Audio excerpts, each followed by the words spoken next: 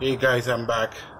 Uh, I I already installed the second knock sensor, like I told you guys. But when you have to put everything together, the manifold, there's a little trick you're supposed to know. You have to pay attention. You know what the trick is? You see on the manifold right there, you have one, two, three screw and four and five.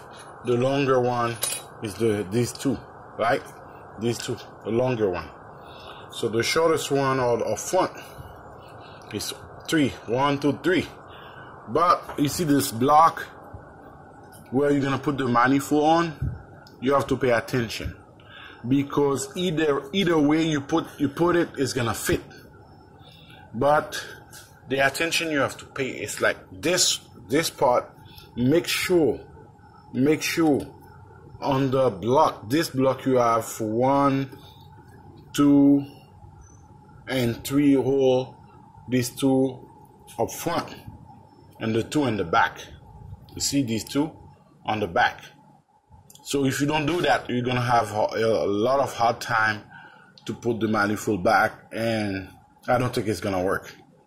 So basically what you have to do Pay attention, it's a trick. And I didn't see anybody say that when they put it together. You see this block, you have to make sure these three, one, two, three, and you're gonna have three holes right there, and this block one, two, and three, and one, two, and two on the back. All right, guys. So I'll let you know how's everything going. Then I'm gonna put everything back together. I already uh, installed the knock sensor, the second one, and that's the new gasket. But it's not necessary, but I just want to do it.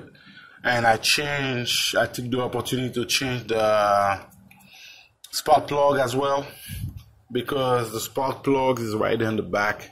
So I change all of them and I will let you know how everything goes. All right, thank you.